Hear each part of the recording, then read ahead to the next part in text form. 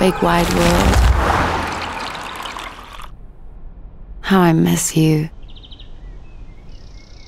I think of all the places I've been. From my house to the shops and back again.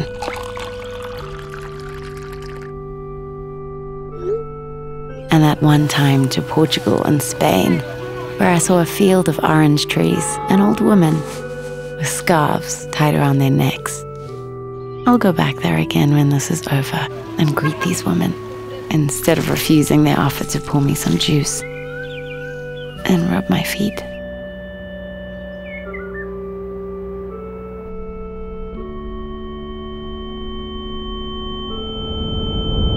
Indeed, I will stand very close to people whenever next I get the chance and look them in the eye instead of down and at my feet. And maybe hold their hands and hug and kiss them, whether we are friends or not. This is how I will greet people with my lips and my tongue, trying the flavors I always wanted to but never did.